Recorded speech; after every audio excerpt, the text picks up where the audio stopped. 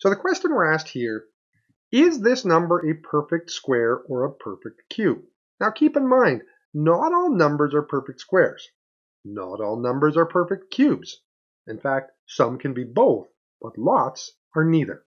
So let's start just like we did in all the other questions. Let's do a prime factorization. We've got our prime factorization. Let's write it as a product of its prime factors. So let's let's start first. Is it a perfect square?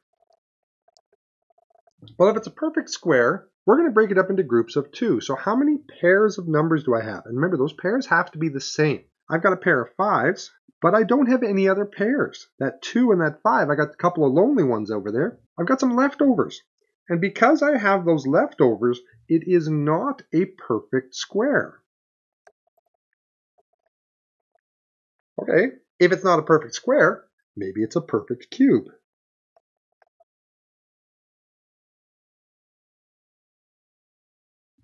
Okay, to check if it's a perfect cube, I'm going to break it into groups of three because in a cube, the index is three. I've got three fives, I've got one group, but I've got another leftover factor here.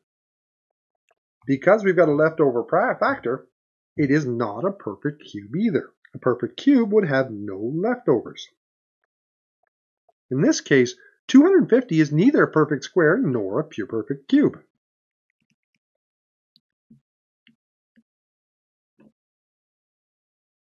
Let's do another example of that, 216. As always, we're going to start with prime factorization.